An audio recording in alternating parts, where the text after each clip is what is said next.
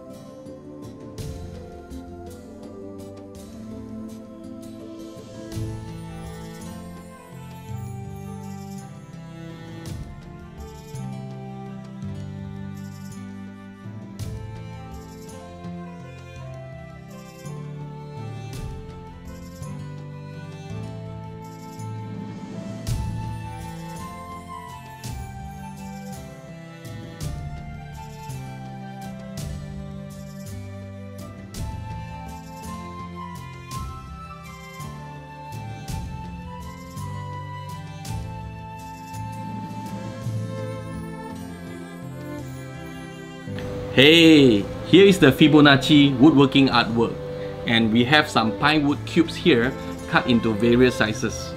Next, we are going to decorate this piece of artwork.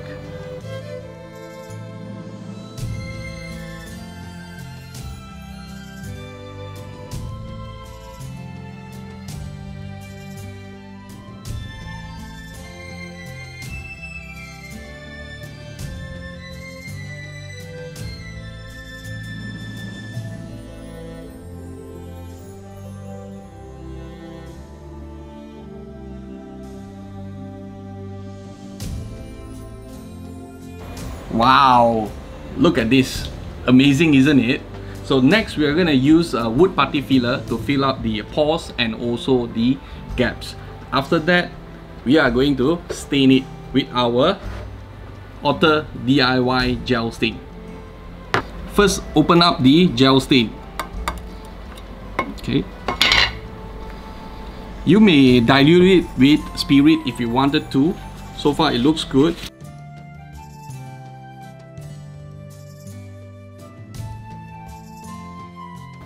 Next, we're going to apply Wood Care Aqua Top Coat Satin Finish.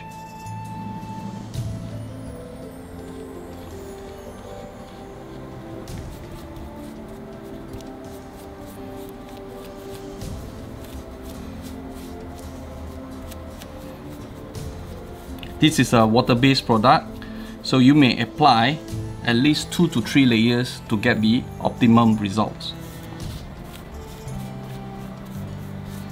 This is our final Fibonacci sequence artwork. I hope that you enjoyed it. You may also choose your favorite colors and use it as a decoration at your home.